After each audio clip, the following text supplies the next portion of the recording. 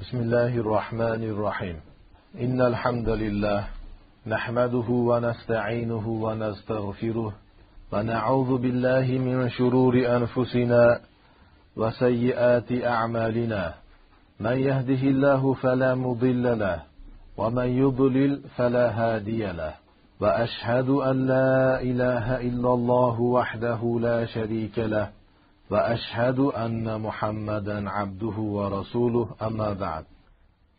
آل عمران سورة 23 آيات. أستعيذ بالله من الشيطان الرجيم. ألم تر إلى الذين أوتوا نصيبا من الكتاب يدعون إلى كتاب الله ليحكم بينهم ثم يتولى فريق منهم وهم معرضون. kitobdan nasiba keltirilgan kishilarni ko'rmadingmi? O'rtalarida hukm qilishlik uchun hukm chiqarishlik uchun Allohning kitobiga chaqiriladilar keyin ulardan bir firqasi bir toifasi yuz o'giruvchi holatlarida teskari qarab ketadilar. Suyuti aytyaptilar alam taro tanzur ko'rmadingmi qaramadingmi? إلى الذين أوتوا نصيبا حظا من الكتاب التوراة kitobdan ya'ni tavrotdan nasiba haz ulush keltirilgan kishilarni yudauna hol bo'lyapti ila kitabillahi Allohning kitobiga chaqiriladilar ya'ni Allohning kitobiga chaqiriladigan holatlarida liyahkuma baynahum Allohning kitobiga nima uchun chaqirilishyapti o'rtalarida hukm qilishlik uchun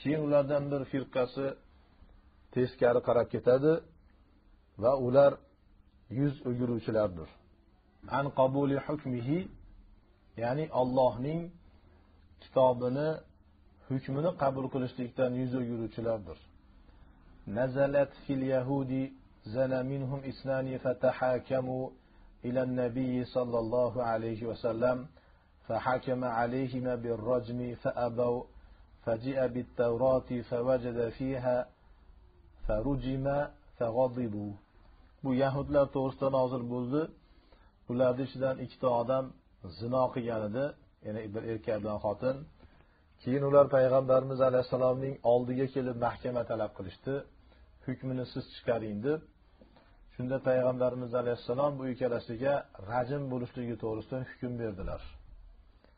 Rajm qilinsin bular dedilar. Yahudiylar yuz o'girdilar. Bunday gap yo'qku qayerdan topdingiz?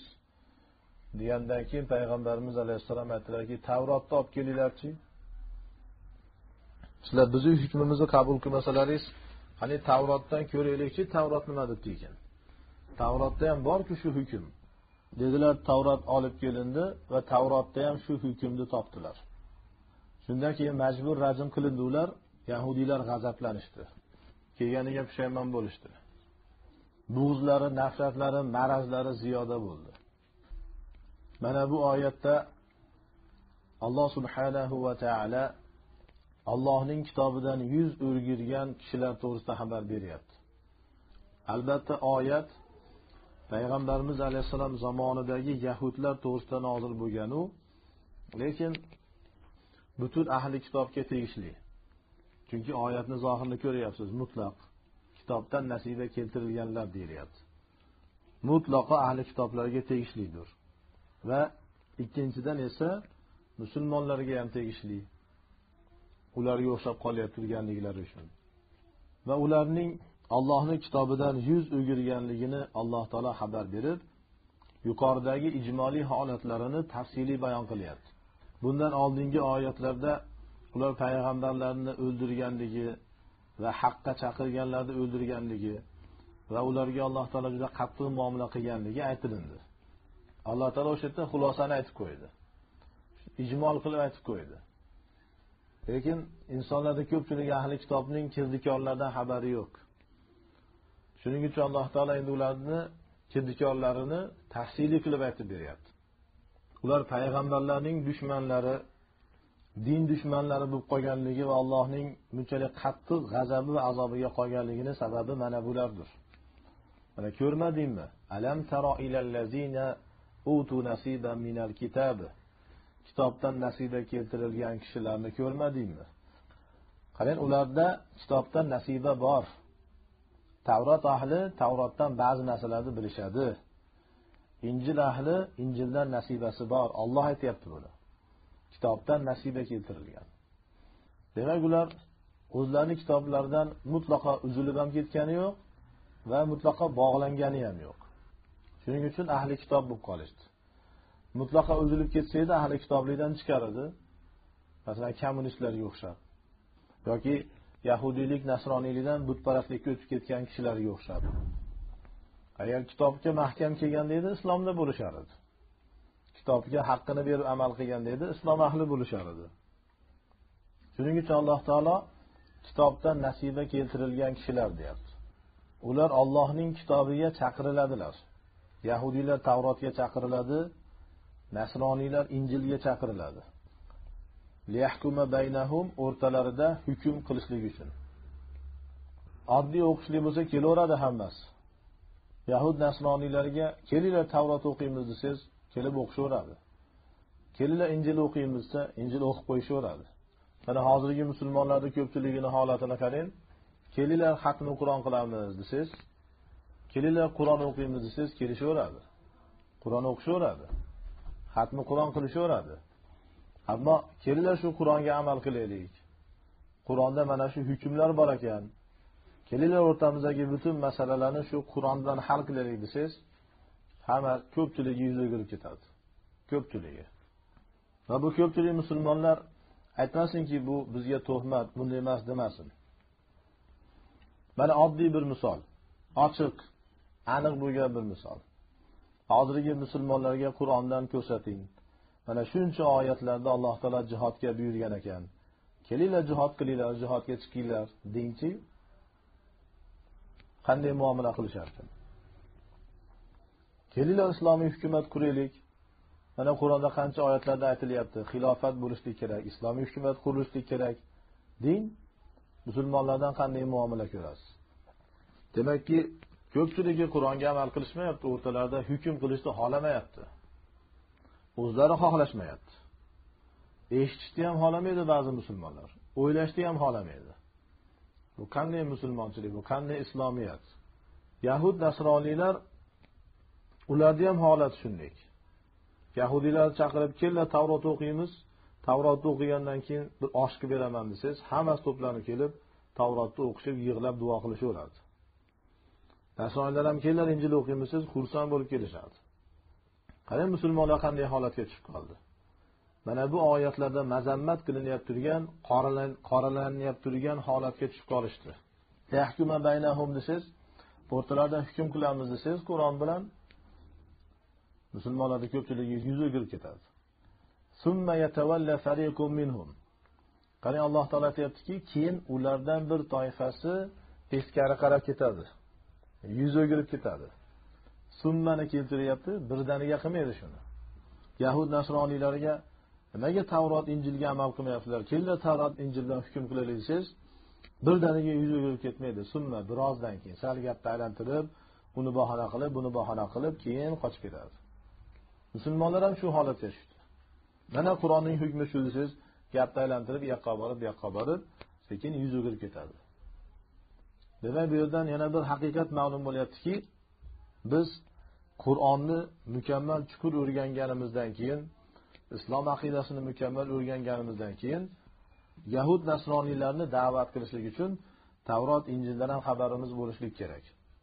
O'zi zotan biz islomni chuqur o'rgansak tavrot injilni o'rgangan bo'lamiz o'zi. Va uni bilishligimiz kerak. Hozirgi yahudiylarga biz kelinglar.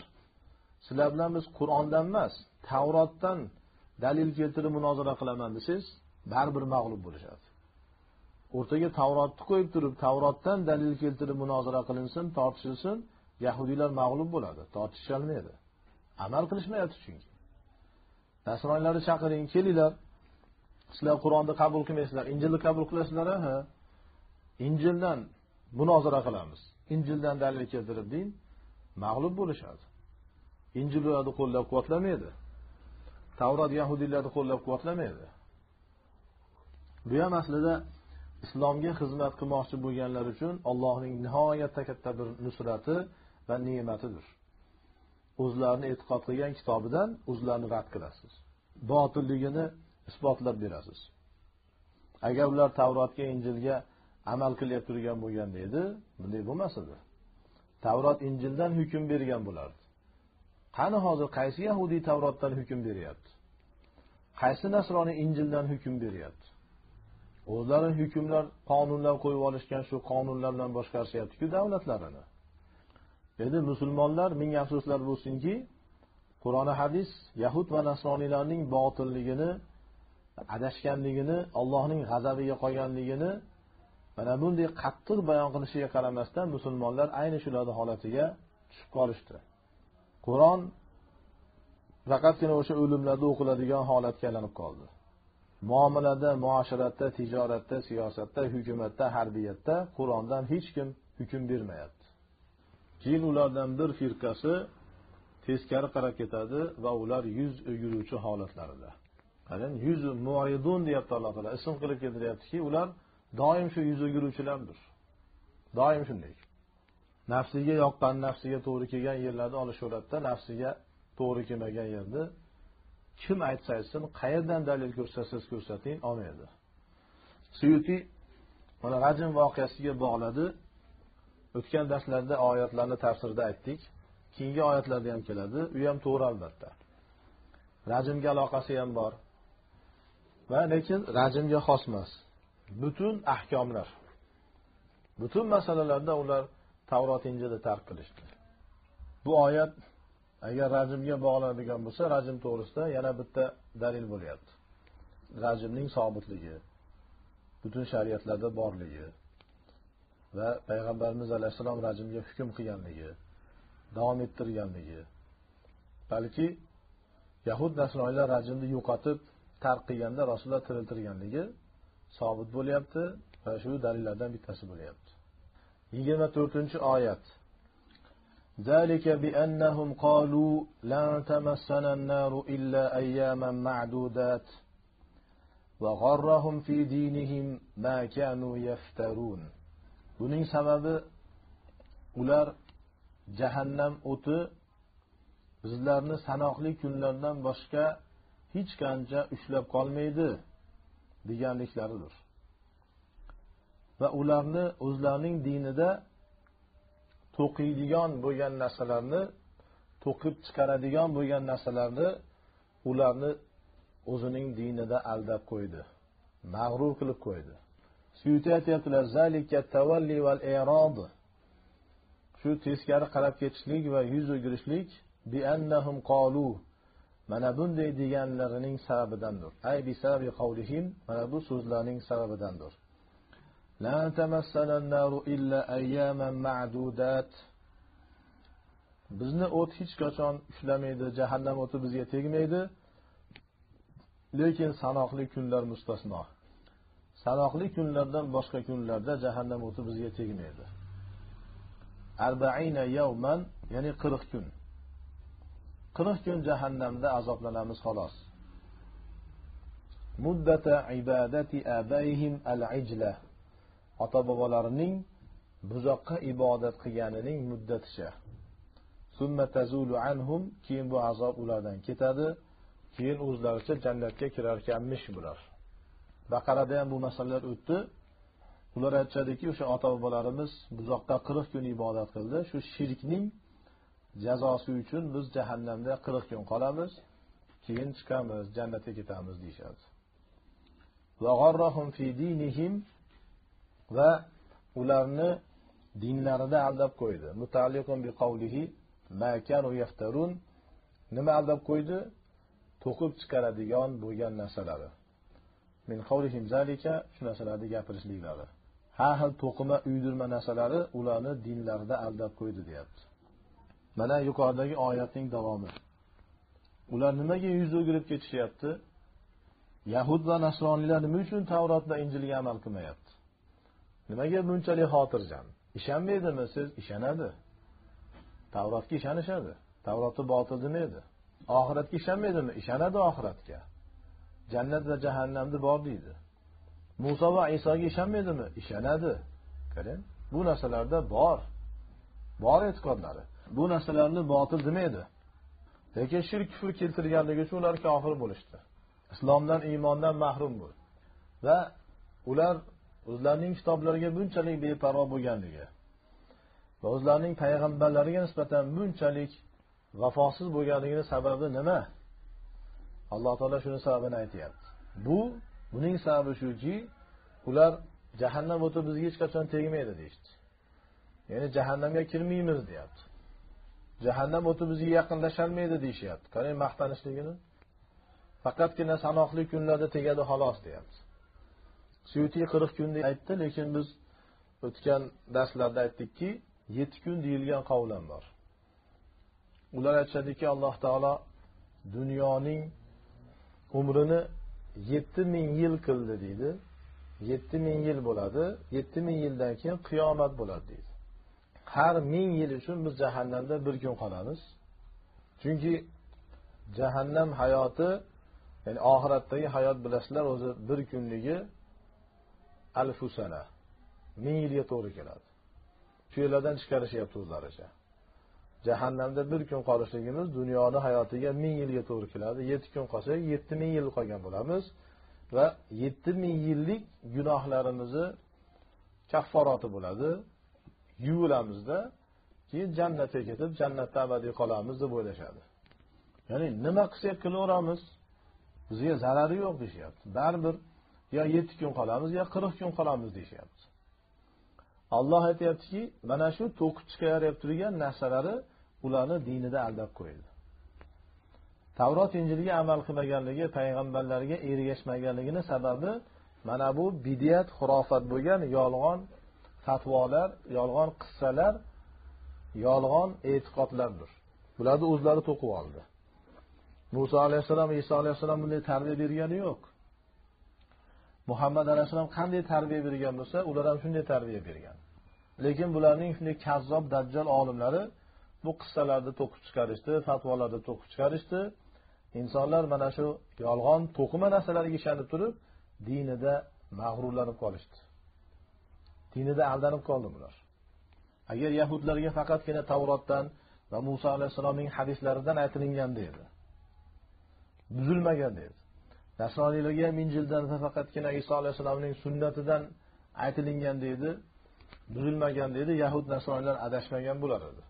Lekin ularning kazzob dajjal olimlari tavrot injilni buzib o'rgatganligi uchun avom mana shu holatga tushdi. Endi yuqoridagi oyatlarda aytdik alloh taolo bu oyatlar bilan bizga o'tgan ummatlar to'g'risida xabar beryapti tarixiy bir voqea va ularning holatidan ibrat olishlik nasihat olishlik ikkinchi buyuk muhim masala. Uchinchisi payg'ambarimiz alayhissalom zamonidagi ahli kitoblar mushriklarning payg'ambarimizga qilgan muomalalari.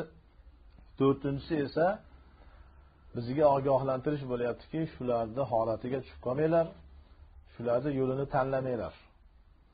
Bularning yo'lidan ketib qolmanglar degan tarafi ham bor. Bizni zamondagi musulmonlar nimaga men musulmonman hanafiyman deb turib namoz o'qimayapti? Nimaga zakot bermayapti? Nimaga ramazonda ro'za tutmayapti? Nimaga qur'on o'rganay hadis o'rganay e'tiqodimni o'rganay demayapti? Nimaga islomiy ilmlarni hosil qilay demayapti? Nimaga dinga xizmat qilay demayapti? Nimaga? Ular ishonmaydimi? Ishonadi qur'onni yaxshi ko'radi hadisni yaxshi ko'radi. Oxiratga ishonishadi jannat jahannam bor deydi. Payg'ambarimizni yaxshi ko'radi ulamolarni ham hurmat qiladi. Lekin ular shu kazzob dajjol olimlariga aldanib qolgan aytishadiki biz nima gunoh qilsak ham baribir musulmonmizku. Bizga olimlarimiz aytgan musulmonlar jahannamda abadiy qolmaydi degan. Biz jahannamga kirsak ham gunohimizga yarasha jazomizni olamiz keyin baribir jannatga kirib ketamiz. Ya'ni jahannamda faqatgina ayyama ma'dudat sanoqli kunlar qolamiz xolos deyishadi. Qarang bu maraz musulmonlar chekilib qoldi. Johil musulmonlardan so'ranglar hammasi shu gapni gapirishadi. Nimaga sizlar qur'ondan yuz o'girib ketyapsizlar? Nimaga sunnatga amal qilmayapsizlar? Nimaga sahobalarga o'xshab dinga xizmat qilmayapsiz dinda nimaga hech o'ylanmasdan tortinmasdan hijolat bo'lmasdan allohdan zarra qadar qo'rqmasdan yuz o'girib ketyapsizlar? Hech amal qilmayapsizlarku sizlar. Desangiz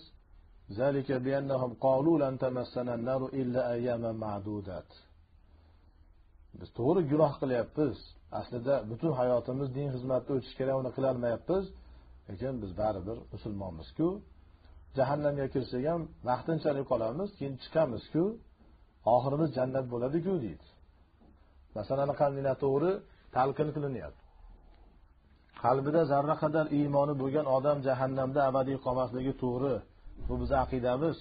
Lekin bu degani amalga beparvo bo'lgin degani emas. Nima qilsang qilavergin. Qalbingda zarra qadar iymoning bo'lsa baribir jannatga borasanku degani emas. Va o'tgan oyatlarda aytdik xususan jahannamning azobi nihoyatda yomon. Bu yillarcha emas. Bir lahza bardosh qilolmaysiz bir lahza. Bir lahzasiga chidolmaysiz bizni zamonimizdagi beamal musulmonlarni ham shu dajjol kazzob olimlarning to'qib chiqargan narsasi aldab qo'ydi. Mana adashgan toifalar bor mo'tazilalar.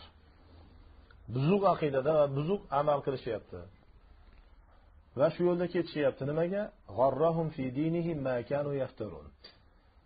Ularning yolg'onchi noqis ustozlari domlalari qur'oni hadisni ularga noto'g'ri tushuntirgan. Mana shu bizni aqidamiz.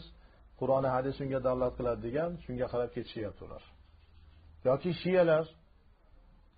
Shiyalarni oddiy avomlari ularni ko'pchiligini qalbida islomga nisbatan zarra qadar yomonlik yo'q. Islomni butun qalbidan yaxshi ko'radi. Islom nima desa men shunga tayyorman deydi lekin shiya bo'lib yurishibdi emas. Ming xil shirk ming xil kufr bor ularni aqidasida amallarida. Nimaga? Chunki ularni oxunlari ularni domlalari shunday tushuntiryapti. Sizlar aliga qancha so'zlamsalaringiz shuncha savob bo'ladi. Abu bakrni umarni qancha so'ksalaringiz la'nat bo'lsin desalar shuncha savob bo'ladi deganligi uchun qarang to'qib chiqqan makanu yaftarun to'qib chiqqan narsalari ularni dinda aldab qo'ydi. Din shu ekan deb yuribdi mana bu sufilarni qarang. Oddiy sufilarni qalbi muhabbatga to'la. Haqiqatdan olloh va rasulini yaxshi ko'radi dinni yaxshi ko'radi. Va har qanday hukmga itoat qilishlikka tayyor. Ammo nimaga hadeb qabrga sig'inib ruhga sig'inib avliyolarga sig'inib avliyolardan madad so'rayapti? Chunki ularning shu soxta yolg'onchi domlalari ustozlari pirlari shayxlari qabrdan yordam so'rasa ruhdan yordam so'rasa abduqodir jinoniydan bahodir naqshbandiydan yordam so'rasa savob bo'ladi. Olloh yaxshi ko'radi uni deganligi uchun aldanib qo'ygan ular. Qarang dindan deb o'ylayapti. Shuning uchun ulamolar aytadiki fosiq tavba qilishi mumkin lekin bidiyatchi tavba qilmaydi. Chunki o'zini haq deb o'ylaydida u. Shuning uchun diniy masalalarda agar qur'oni hadisdan bo'lmasa hadis agar sahih bo'lmasa sobit bo'lmasa uni olmaslik kerak.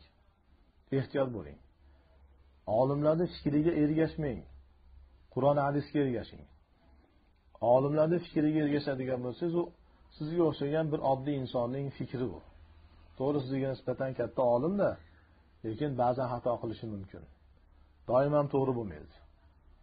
Siz uni qaysi fikri to'g'ri qaysi fikri noto'g'riligini bilmaysizku. Shuning uchun payg'ambarimiz alayhissalom bizga va butun insonlarga qur'on va hadisni tashlab ketdilar.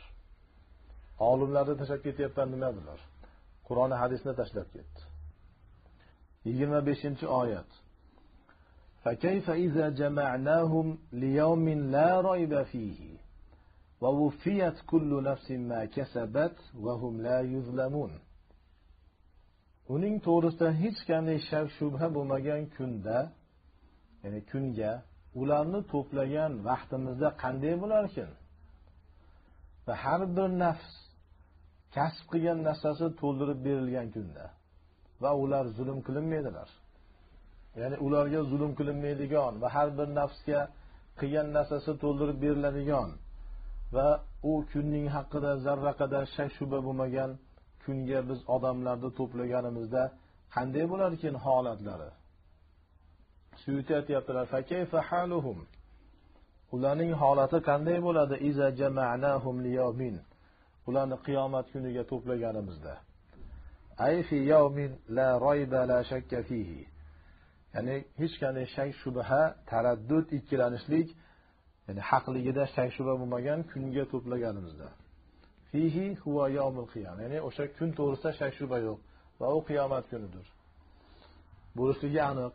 Va ufiyat kullu nafsin va har bir nafsga to'ldirib beriladi. Min ahli kitabi va g'oyrihim. Ahli kitobdan bo'lgan yoki ulardan boshqa bo'lgan har bir inson. Faqatgina ahli kitobga tegishli emas har bitta insonga tegishli. Har bitta insonga qiyomatda mukammal qilib beriladi nima? Kasabat. Kasb qilgan narsasining jazosi. Qilgan amalining yaxshi bo'lsa mukofoti yaxshi mukofoti yomon bo'lsa jazosi azobi. Amilat min xayrin va sharrin. Yaxshilik va yomonlikdan o'sha kasb qilgan narsasining jazosi to'ldirib beriladi vahum ay annasu va ular ya'ni insonlar la yuzlamuna zulm qilinmaydilar. Binaqsi hasanatin aw ziyadati sayyatin. Hasanasini kamaytirishlik yoki sayya gunohini ko'paytirishlik bilan ularga zulm qilinmaydi. Ya'ni savoblarni kamaytirmaymiz gunohini ko'paytirmaymiz. Savobini ko'paytirishimiz mumkin. Gunohini kamaytirishimiz mumkin ammo teskarisi bo'lmaydi deyapti. Mana alloh taolo yahud nasroniylarni qo'rqityapti avvaliga. Ularni to'plaganimizda qanday bo'lar ekan holatlari? Qachon to'playdi? Haqligida va albatta bo'lishligida hech qanday shak shubha bo'lmagan kunga shu kun uchun to'plaganimizda qanday bo'ladi? Hammasini to'playmiz. Qiyomat kunida bilasizlarki hamma mahsharda to'planadi. Va o'shanda ko'rishadi.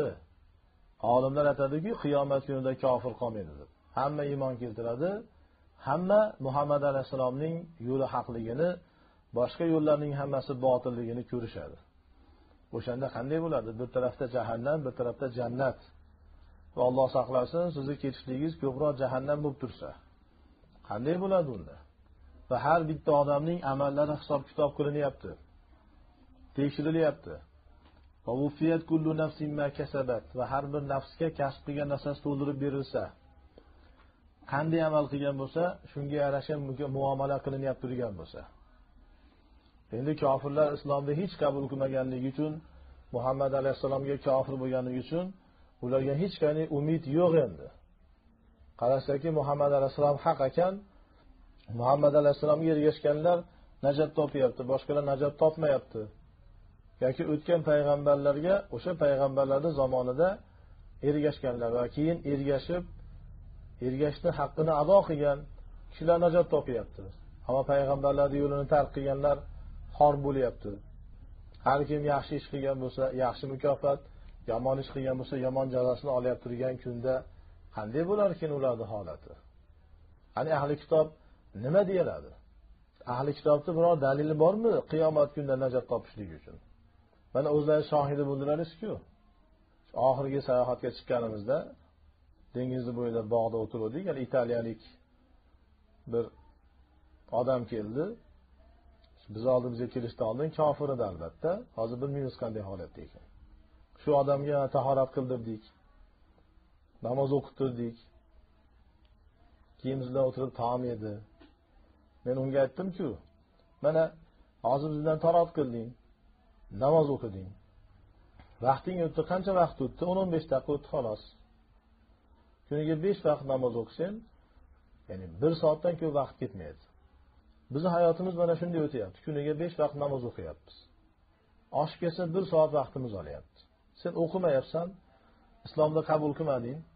Bu narsalardan xoli bo'lib o'tyapti hayoting. Seniki ham o'tyapti bizniki ham o'tyapti. Seni mantig'ingdan kelib chiqaylik. Seni e'tiqodingdan kelib chiqaylik. Biz o'zimizni haqligimizni bilamiz. Lekin sen tarafingdan gapirganda agar qiyomatda oqibat sen aytganday bo'lsa bizga nima zarar bo'ladi? Bizga zarar bo'ladimi? Namoz o'qiganligimiz uchun. Tahorat qilganimizga zarar bo'ladimi? Desam yo'q dedi. Zarari yo'q. Namoz o'qishlik zarar emasku tahorat qilish zarar emasku hatto men u kofirga tushuntirdim. Qara tahoratni qilinishiga qara mukammal bir nazofat kuniga besh marta yuvilib pok pokiza bo'lib yursang yomonmi bu? Savobi ham bor. Agar seni aytganing to'g'ri chiqsa bizga zarar bo'ladimi? Bo'lmaydi. Ammo biz aytganimiz to'g'ri bo'lsa nima bo'ladi? Biz aytganimiz to'g'ri chiqsa unda sen zarar qilasan. Jahannamda abadiy o'tin bo'lasanku. To'g'rimisan to'g'ri dedi qarang unga aytdi mana sen hozir biz bilan namoz o'qiding. Biz bilan birga duo qilding. Baribir vaqting o'tdi baribir. Zarar ko'rdingmi? Yomon bo'ldimi senga? Aytdi yo'q maza qildim dedi. Tarot qilib namoz o'qilib maza qildi u. O'zim ajib bir his qildim dedi. Ha undan ko'ra islomni qabul qilib kuniga besh vaqt namoz o'qib yursang yaxshi emasmi? Xotirjam yashaysan xotirjam o'lasan. Har bitta insonga qilgan amali to'ldirib beriladi. Shunda nima bo'ladi endi? Ammo kofirlar islomni boshidan qabul qilmaganligi uchun yo'q hech narsa yo'q. Hech qanday amali qabul bo'lmaydi. Va yuzlamun insonlar zulm qilinmaydilar. Hech kimga alloh taolo zulm qilmaydi. Alloh taolo zarra qadar zulm qilishi mumkin emas. Kimiki alloh taoloni zarra qadar zulm qilasa kofir bo'ladi. Yoki zulm qiladimikin deb o'ylasa gumon qilsa kofir bo'ladi. Mana bu gaplar nihoyatda kuchli gaplar. Biz bu gaplarni kofirlarga yetkazishligimiz kerak. Ey yahud va nasroniylar! Ey butparastlar mushriklar buddistlar majusiylar! Bizni ham umrimiz o'tyapti sizlarniki ham o'tyapti. Sizlarniki to'g'ri chiqsa sizlarni e'tiqodlaringizdan kelib aytyapmiz sizlarniki to'g'ri chiqsa bizga nima zarari bor? Biz nima zarar qilamiz? Yo'q bizga zarar. Bizniki to'g'ri chiqsa nima bo'ladi sizlarni holatlaringiz? Vaholanki biz o'zimizni aqidamiz dinimiz yo'limizni haqligini bilamiz zarra qadar shubha qilmaymiz. Deb ayting hech narsa deyisholmaydi va o'sha kofirga mana bolalar suv quyib berib turibdi abdulaziz o'rgatyapti inglizchalab. Qancha xursand bo'lib torat qilyapti turganligini ko'rsangiz uni. Qancha xursand bo'lib qancha mukammal itoat bilan. Qanday o'rgatsa shunday qilyapti. Bunday bo'lmadi bunday bo'lishi kerak desa kechirasan deyaptida. Qanday o'rgatsa shunday qilyapti. Itoatni qarang musulmonlarga tarat qil desangiz nima ishing bor seni deydi. Nima meni ishlarimga aralashyapsan deydi. Sendan so'rab tarat qilamanmi deydi. Ya qilamanda deydi. Senga qarab o'tiribmiz birodar. Siz o'qaver deydi. Mensiz bo'lmaydimi namozing deydi. salom berganingizga balo baloga qolasiz yigirma oltinchi oyat. Qulillahumma malikal mulki tu'til mulka man tasha va tanzi'ul mulka mimman tasha va tu'izzu man tasha va tuzillu man tasha biyadikal khayru innaka ala kulli shay'in qodir ayt ey muhammad alayhissalom ey ollohim mulkning egasi mulkni o'zing xohlaydigan kishiga berasan. Va xohlaydigan kishidan mulkni tortib olasan va o'zing xohlaydigan kishini aziz qilasan va o'zing xohlaydigan kishini xor qilasan. Yaxshilik seni qo'lingdadir. Albatta sen har bir narsaga qodirsan. Suyuti aytyaptilar va nazalat lamma va'ada sallallohu alayhi vasallam ummatahu mulka faris va rum. Payg'ambarimiz alayhissalom o'zining ummatiga sahobalarga forslar va rumning mulkini va'da qilganlarida mana shu e, va'da qilganlarida faqolal munofiquna hayhata munofiqlar aytdiki bo'lishi mumkin emas e dedi. Shunda mana shu oyat nozil bo'ldi. Hozir bizni zamondagi musulmonlar shu narsani eshitsa voy badbaxt munofiqlar ey deydi. Rasululloh aytsa ishonmas ekanda deydi. Ammo o'zlariga rasulullohdan aytsangiz ishonishmaydi o'zlari ham. Qabul qilishmaydi. Payg'ambarimiz alayhissalom o'sha handaq jangida aytdilar. Forsning xazinalarini rumning xazinalarini alloh taolo menga berdi dedilar. Yaqinda shularni hammasini qo'lga kiritasizlar dedilar. Shunda munofiqlar o'rtalarida masala qilishib istehzo qilishib e'tiroz qilishdi bo'lishi mumkin emas bu dedi. Sizlar qayerdasalar ular qayerda dedi. Shunda shu oyat nozil bo'ldi. Alloh taolo amr qilyapti. Qul aytgin allohimma ya alloh ey allohim malikal mulki mulkning egasi. Tu'ti ya'ni tu'ti keltirasan ya'ni berasan. Al mulka man tashau. Mulkni o'zing xohlaydigan kishilarga. Min xalqika maxluqlaring ichidan. Va tanzi'ul mulka mimman tasha'u bi ityanihi. Va o'zing xohlaydigan kishilardan mulkni tortib olasan. Ya'ni o'zi olib kelishligi bilan. Va tuzillu man tashau va tuizzu man tasha deb turib bi itayhi deb. To'g'rimi? Mulkni xohlagan kishidan tortib olasan va xohlagan kishini aziz qilasan berishlik bilan. Shu izzat berishlik mulk berishlik deyapti. Mendagi nusxada va mulka mimman tasha debdida keyin va tuizzu man tashasi yo'q. U tushib qolib turib debdi. Shuning uchun ya'ni mulkni xohlagandan tortib olasan deganda berishlik bilan bo'lmaydiku. Allohni berishi bilan bo'lmaydi. Lekin u odam o'zi olib kelib bersa bu bir surati bu. Lekin albatta bundaylarda bu shaklda tafsir qilinmaydi. Shuning uchun bizdagi nusxada noto'g'ri yozilibdi. O'sha izzatdan keyin kelishi kerak bu. Va xohlagan kishilarni xor qilasan undan tortib olishlik bilan. Ya'ni mulkni tortib olishlik bilan deyapti. Lekin bu albatta mulkka xos emas. Izzat mulkka xos emasku aziz bo'lishlikni sabablari ko'p. Shuning uchun yuqorida aytganimizdek suyutiyni bu tafsiri tamsiliy tafsir. Misol keltirishlik. Masalan bir insonni xor bo'lishi qanday bo'ladi? Mulkini tortib olishlik bilan. Biyadika bi qudratikal xoyru ay va sharru. Yaxshilik. Ya'ni va yomonlik ham seni qo'lingdadir deganda seni qudratingdadir deyaptilar. Ha mana qudrating deb tavil qilyaptilar. Yuqorida ham aytdik yana aytamiz. Bu yerda uchta fikr bor.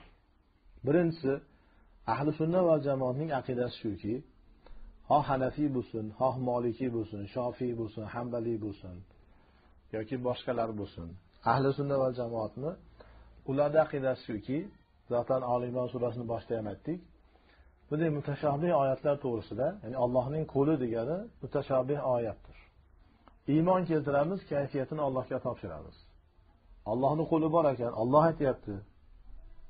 Allohni qo'li bor deb uni biz rad qilolmaymizki inkor qilolmaymizki endi. Alloh bor desa biz yo'q deyishga haqqimiz yo'q. Shuning uchun iymon keltiramiz kayfiyatini allohga topshiramiz. Kayfiyatdan bahs qilmaymiz qanday ekan deb. Va uni tahrif ham qilmaymiz o'zgartirmaymiz. Qo'l qo'ldir deymiz. Uni boshqa ma'noga burmaymiz. Uni boshqa ma'noga burishlik masalan qo'lni qudrat deyishlik mo'tazlarning aqidasidir. Fiqul akbarda o'qidilaringiz. Imom azam ochiqchasiga aytyaptilar. Allohni qo'li qudrati deyilmaydi.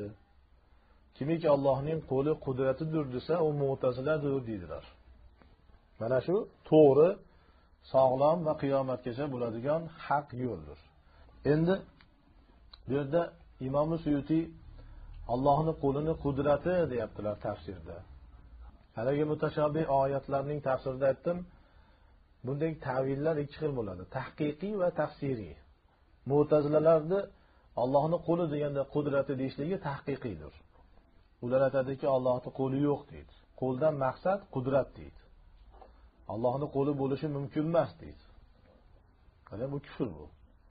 Mumkin emas bo'lsa nimaga alloh taolo qo'li deyapti? Va o'zi o'rgatyapti ey muhammad aytginki yaxshilik seni qo'lingda degin deyapti qarang. O'zi o'rgatyaptiku alloh taolo o'zi bizga ta'lim beryaptiki yaxshilik seni qo'lingda deb aytinglar deyapti. Shunchalik bir ochiq dalil tursa ham biz ollohni qo'li yo'q deymizmi ba'zi oyatlarda shunday to'g'ri keladi allohni qo'li deb lekin bu oyat allohning qo'li borligiga shunday bir ochiq dalil bo'lyaptiki qul deyapti. Olloh aytyaptiki aytgin deyapti. Biyadikal xoyru ey ollohim yaxshilik seni qo'lingda. Qarang yaxshilik sening qo'lingdadir deb aytgin deyapti alloh taolo. Alloh taolo bizga aytgin deb buyursa ham biz yo'q seni qo'ling yo'q deymizmi? Kufrku bu. Kofir bo'ladi. Shuning uchun imom azam abu hanifa aytyaptiki ollohni qo'li yo'q deyishlik yoki ollohni qo'li qudratidir deyishlik ollohni sifatini inkor qilishlikdir bekorga chiqarishlikdir. Va bu kufrdir deyaptilar. Fihi ibtalu sifa deydilar. Bu yerda sifatni ibtol qilishlik bor deydi. Demak qo'lni tahqiqiy ta'sir turib qudrat desa qo'ldan maqsad qudratdir. Allohni qo'li o'tsa kofir bo'ladi u. Lekin mo'tazila ularni biz kofir demaymiz adashgan deymiz. Kufr aqida ammo o'zlari adashgan bidiyat toifa deymiz ularni kofir demaymiz chunki noto'g'ri tushunib shunday qarorga kelishyapti. Endi uchinchi masala. Suyuti aytyapti bu gapni. Ahli sunnada qo'lni qo'l deyishlik kerak lekin suyuti qo'lni qudrat deyaptilar. Buni qanday tushunishligimiz kerak? Mo'tazlani fikri ediku. Nima suyuti mo'tazlani aqidasini olyaptimi shu yerda? Desangiz ba'zi kishilar shoshilib suyuti mana shu masalada mo'tazla aqidasida deydi. Shu allohning sifatlari to'g'risida mutajobih sifatlar to'g'risida adashgan deydi. Shu adashgan deb turganlardan so'rang suyuti kim o'zi? Siz ahli sunnani katta imomlardan bittasiz. Kichkina oddiy imom emas juda katta imomlardan bittasiz. Bu nima degan gap? Demak juda og'ir gapni gapiryapsiz siz suyutiyni ham imom deyapsiz ham aqidasi buzuq deyapsiz. Buni qanday tushunish kerak? Bu bir biriga zid bo'lgan narsaku. Suyutiyni aqidasi buzuq bo'lsa imom bo'lolmaydi u? Imom emas demakki. Imom bo'lsa demakki aqidasi to'g'ri. Ikkalasidan bittasini olishligingiz kerak. Yo suyutiyni imom deysizda aqidasini to'g'ri deysiz yoki aqidasi buzuq deysizda imom emas deysiz. Va shuni bilingki imomni suyuti imommas deganingizda xor bo'lasiz imomni suyutini imommas desangiz olimmas aqidasi buzuq desangiz siz o'tgan ulamolarni so'kkan bo'lasizda fosiq bo'lasiz sizda ilm o'qishlik joiz bo'lmaydi sizdan hadis olinmaydi rivoyat olinmaydi sizdan kimga til uzatyapsiz siz? Suyutiyga til uzatolmaysiz ya'ni suyuti shofiy mazhabida shofiylar nihoyatda katta imom bo'lishiga qaramasdan mushtahidi mutlaq bo'lishiga qaramasdan va har bitta fanda har bitta ilmda kitob yozganiga qaramasdan baribir shofiy mazhabi dedilar. Imom shofiyga ergashadilar qanday qilib bu kishini aqidasi mo'tazila bo'lishi mumkin? Demak bu yerda diqqat qilishimiz kerak bo'lgan masala bor. Suyuti allohni qo'lini qudrati deyap turganligi bu tahqiqiy tafsir emas. Bu tamsiliy va bir izohiy tafsir bo'lyapti. Tahqiqiy emas. Suyutiyga o'xshagan ahli sunna olimlari qo'l va shunga o'xshagan mutashabbih sifatlarni inkor qilib bunday sifatlar yo'q deyishligi mumkin emas. To'g'risi aytyapmanku ular ahli sunnani imomi hisoblanmaydi ular. Ahli sunnadan chiqadi. Bunday qovullarni ulamolar zindiqlarni rad qilishligi uchun aytishar edi din dushmanlari o'sha davrlarda shu tafsirlar bunday tavillar bunday izohiy tafsirlar tahqiqiy emas. Haqiqatda bayon qiladigan emas izohlaydigan tafsirlar rivojlanganligini sababi o'sha zamonda zindiqlar islomga kirib o'zi qalbi kufr bilan maraz bilan to'la. Lekin islomni davo qilib qur'on hadisni o'rganib musulmonlarni aqidasini buzishga harakat qilishdi. Allohni qo'li degandan keyin qo'l bizni qo'limizga o'xshagan bo'ladi. Demakki bizni qo'limizga o'xshagan ekanda deyishdi ahli sunna aytdiki allohni qo'li bor ammo bizni qo'limizga o'xshamaydi o'ziga munosib nihoyatda buyuk bir qo'ldir desa ular aytdiki bizni qo'limizga o'xshamasa nimaga o'xshaydi qo'l deganda shuni tushunamiz biz lug'atda. Eng yaxshi qo'l insonni qo'li eng go'zal qo'l demakki allohni qo'li insonni qo'liga o'xsharkanda. Degan vaqtda ularni rad qilishlik uchun qo'l deganda masalan qudratni tushunish mumkin. Qo'lni o'zi qudrat degani emas.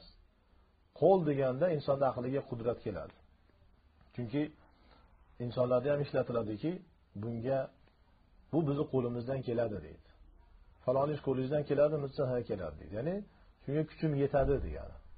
Ya'ni qo'l degani kuch degani quvvat degani. Ya'ni lug'atda ham iste'molda ham har qanday yerda qo'l qudrat degan ma'noda ishlatilaveradi. Bu inkor qiladigan masala emas bu. Suyutiylar mana shu ma'nodan kelishyapti mana shu tarafdan kelishyapti. Yani zindiqlarni rad qilishlik uchun. Lekin zohiran xato qilyapti. Qudratihi demaslik kerak edi. Ya'ni o'ziga ham shunchalik tuhmat kelmas edi. Og'ir ta'nalar kelmas edi. Va suyuti to'g'risida shu biqudratihi deb degan biyadikani inkor qilyapti degan narsa aqlingizga kelmasin. Hozirgi vaqtda ba'zilar hatto ba'zi mashhur shayxlar ham shundaylarni o'qiganda qudratiga deganda nauzu billah olloh saqlasin qaranglar mana suyutiyni aqidasi buzuq edi pachaq edi aqidasi deyishyapti. Bu zulm bu. Fosiqlikdir joiz emas bu narsa. Agar suyutiy birorta yerda haqiqatdan mo'tazilani aqidasini olib turib ahli sunnani rad qilib ollohni qo'li yo'q degan bo'lsa dalil ko'rsatsin. Unda biz aytaylikki suyutiy biqudratihi biqudratika deb tahqiqiy tafsirni iroda qilyapti. Qo'ldan maqsad faqatgina qudrat deyapti qo'l degan narsa yo'q deyapti. Bu kufr aqidadir. Mo'tazlardan olibdi ekan deymiz unda. Ammo unday deyishlikka dalil yo'q. Xoyir va shar mana seni qo'lingdadir. Innaka ala kulli shayin qodir albatta sen o'zing har narsaga qodirsan. Bu oyatda alloh taolo mana duoga chaqiryapti. Duoni o'rgatyapti. Shu yerda aytyaptilar payg'ambarimiz alayhissalom forslarga rumlarga berilgan xazinalar molu davlatlarning ummatiga o'tishligi to'g'risida xabar berganda munofiqlar e'tiroz qildi. Keyin shu oyat nozil bo'ldi deyilyapti.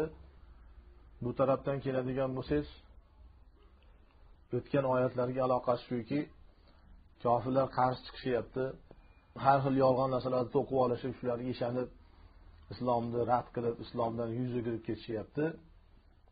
Sen xafa bo'lma yaqinda mulklarni senga beraman degan ma'no kelib chiqadi. Suyutiyni hozir keltirib turgan qovliga ko'ra. E, umumiy oyatni zohiriga qarab umumiy tafsir qiladigan bo'lsangiz ya'ni kufrni qarshisida va kofirlarning bunchalik muxolifat qilishligi dushmanlik qilishligi qarshida allohga duo qilinglar. Hamma narsa allohni qo'lidadir. Ollohni iznisiz hech narsa bo'lmaydi. Deb alloh taolo mana bizni o'ziga bog'layapti o'ziga chaqiryapti. Hamma narsa alloh tarafidandir forslar va rumliklarning xazinasini sahobalarga naql qilganda munofiqlar ishonmadi. Bo'lishi mumkin emas dedi. Bizni zamondagi musulmonlarni ko'pchiligi shu munofiqlarga o'xshaydi. Qanday? Buni shunday qilasizki hozirgi vaqtda aytsangiz musulmonlarni to'plab turib ey musulmonlar sizlar qur'oni hadisni mahkam ushlaydigan bo'lsalaringiz rus bilan amerikaning xazinalarini olloh sizlarga beradi. Yaqinda sizlarni qo'llaringizga o'tadi desangiz bizni zamondagi o'sha musulmonlarni ba'zilari bo'lishi mumkin emas degan gapni yoqda qo'ying. E bu qanaqa odam bu? Sen jinnimisan sen? Bu dushman bu. Yo'qotinglar buni tezda deydi. Ushlab beringlar deydi. Qarang. E, bo'lishi mumkin emas deb qo'ying. E, qachon qilasizlar u qo'llaringizdan kelmaydi. Amerika bilan rus xazinasi qanday qilib sizlarni qo'llaringizga tushishi mumkin? Demaydi. Tez ushlab beringlar buni deydi. Nimaga meni chaqirdilaringiz? Bu jinni ekanku bu deydi. Aqlini yeb qo'yibdi bu odam deydi. Nima aloqasi bor desangiz payg'ambarimiz alayhissalom zamonida islomiy hukumat o'sha madinani o'zi dedi. Kichkinagina madina shahari. Hozirgi madina o'n barobar katta bo'lib ketdi. Hozirgi madinani tasavvur qilmang. Kichkinagina. Kichkinagina bir shaharcha. Fors bilan rum dunyoni titratgan ikkita katta imperiya. Eng qudratli davlatdan bittasi forslar bo'lsa eronda ikkinchisi rumdagi rumliklar edi. Forslar majusiy rumliklar nasroniy edi. Dunyoni ikkiga bo'lib shular boshqaryapti turadi. Yuz minglarcha askarlari bor edi. Yuz minglarcha. Va payg'ambarimiz alayhissalom agar urush bo'lmayotgan turgan holatda aytsa munofiqlar e'tiroz qilishaveradi e, bu mumkin emas deb. Lekin bu gapni shunday holatda aytyaptilarki handaq jangida. Yahudlar mushriklar hammasi birlashib madinani muhosara qilib olgan. Juda ko'pchilik sahobalarni adadi ham oz imkoniyati ham oz qurol yarog' ham oz va charchagan ochlik uyqusizlik dushmanlar nihoyatda quvvatli. Shunday holatda handaq kovlayap haligi chuqurlarni kovlayap turib payg'ambarimiz alayhissalom aytyaptilarki menga forslarning xazinasi berildi va rumlarning xazinasi berildi deyapti. Endi u holatda tasdiq qilishlik uchun iymon kerak unga. Tushundingizmi ya'ni munofiqlar o'sha holatga qarab e, o'zi muhosirada bo'lsa hamma bizni muhosara qilib olgan bo'lsa butun dunyo dushman bo'lsa sahobalarga qaraydiki qurol yarog' yo'q och. Ba'zi sahobalar qorniga tosh bog'lab olgan ochlikka chidolmasdan uyqu kelyapti necha kundan beri uxlagani yo'q. Charchagan. Kichkinagina bir shaharcha bo'lsa. Munofiqlar shuning uchun aytyapti bo'lishi mumkin emas. Ham hayol bular deyapti bizni zamondagi mana ba'zi musulmonlar ham shunday bo'lishi mumkin emas deyapti. Aqlingdan ham o'tkazma deyapti. Bo'lmasam bizni zamonimizda imkoni yana ham ko'p. Bir milliarddan ko'p bo'lgan musulmonman degan odamlar bor. Yana ham oson bo'lishlik kerak. Lekin tushuntirolmaysiz. Tushuntirolasiz. Uni birorta odamlarga ayting. Qur'on hadisga amal qilsalaringiz qaytsalaringiz alloh taolo amerika va rusni butun xazinasini beradi deng kim ishonadi? Nechta odam ishonadi? Nechta odam qabul qiladi buni? Lekin alloh taolo nihoyatda qudratli zotdir. Olloh buyuryapti mana. Qul allohumma malikal mulk. Ayt ey muhammad alayhissalom. Ey ollohim mulkning egasi mulkning sohibi. Mulkni o'zing xohlaydigan kishilarga berasan. Kimni xohlasang o'shanga mulk berasan. Molu davlat berilishligi qarang ollohning irodasi bilan. Shuning uchun dinga xizmat qilyapti turgan boylarni ko'rsangiz hurmat qiling. Dinga xizmat qilyapti turgan boylarni ko'rsangiz hurmat qiling. Nimaga? Chunki mulkni olloh beradi. Shu odamga olloh mulk beribdi ekan a siz agar undan afzal bo'lsangiz qani siz ham shu mulk egasi bo'lingchi? Mayli hozir bo'lolmaysiz. Bir yil sizga muhlat beraylik ha? Bir yil mehnat qiling shu mulk egasi bo'lingchi. Mayli bir million dollaringiz bo'lmasin besh yuz ming dollaringiz bo'lsinchi bir yilni ichida qani? Shunchalik oson bir shunchalik bir keraksiz arzimagan narsa bo'lsa. Dinga xizmat qilayotgan bir mo'minga alloh taolo shunchalik katta bir mulkni beryaptimi? Demakki allohning huzurida shuni o'ziga yarasha bir qadr qiymati bor. Va yana uni ustiga hadislarda ham keladiki ikkita odamga havas qilsa bo'ladi. Bittasi ilm berilgan doim ilmini tarqatyapti. Ikkinchisi unga boylik berilgan boyligini alloh yo'lida sarflayapti. Unday boylarni yaxshi ko'rishlik havas qilishlik kerak hurmat qilish kerak xizmatini qilish kerak yordamchi bo'lish kerak. Chunki u dinga xizmat qilyapti. Siz unga yordamchi bo'lishligingiz bilan dinga yordamchi bo'lgan bo'lasiz. Bizga mullalar noto'g'ri tushuntirdi. Boylarni yomon ko'ringlar. Musulmon boylarni yomon ko'ringlar. Kofir boylarni yaxshi ko'rish kerakku ha musulmon boylarni yomon ko'rish kerak. Kofirlarni mansabdorlari bo'lsin boylari bo'lsin kofirlarni tilanchi bo'lsa ham yaxshi ko'rish kerak uni. Ammo musulmonlarni boyi bo'lsa ham yomon ko'rish kerak. Musulmonni yaxshi ko'rsalaringiz iymonga zarar qiladi. Boyni yaxshi ko'rsalaringiz iymonga zarar qiladi deydi e, fosiq boyni yaxshi ko'rsangiz keyin iymonga zarar qiladi. Lekin dinga xizmat qilayotib turgan boylarni yaxshi ko'rishlik bu qur'on hadisda targ'ib berilgan narsa va mulkni olloh beryapti. Kimga xohlasa shunga beradi. Demak boy bo'lishlik uchun allohga duo qilishlik kerak. Ya robbiy menga mulkingdan bergin rizqimni kengaytirgin barokat bergin deb duo qiling allohdan so'rang olloh beradi. Qilsa aytmang men bir kambag'al bo'lsam tanish bilishim bo'lmasa qo'limdan ish kelmasa bir hunarim bo'lmasa sarmoyam bo'lmasa demang. Allohga nihoyatda oson. Mana yusuf alayhissalomni alloh taolo quduqdan chiqarib misrda vazir qildiku. Quduqqa o'zini akalari tashlab ketishuvdi o'zini akasi o'zini akalari quduqqa tashlab ketsa lekin alloh taolo uni quduqdan chiqarib olib borib misrda vazir qildi. Allohga ishonsangiz alloh taolo har narsaga qodir hamma narsa oson va o'zing xohlaydigan kishilardan mulkni tortib olasan. Ba'zi boylarni alloh taolo gadoy qiladi kambag'al qiladi. Hayotda ham ko'ryapsizlar buni. Ba'zi odamlarni birdaniga boy qilyapti alloh taolo ba'zilarini kambag'al qilyapti. Bu bir tafsir. Ikkinchisi islomiy mulk. Ey ollohim islomiy mulkni islomiy davlatni o'zing xohlagan kishiga berasan. Va xohlagan kishilardan tortib olasan deb bu yerda shu aqida borki payg'ambarlik bani isroilni qo'lida edi muhammad alayhissalom kelguniga qadar yani oxirgi payg'ambar iso alayhissalomni iso alayhissalom bani isroildan edi.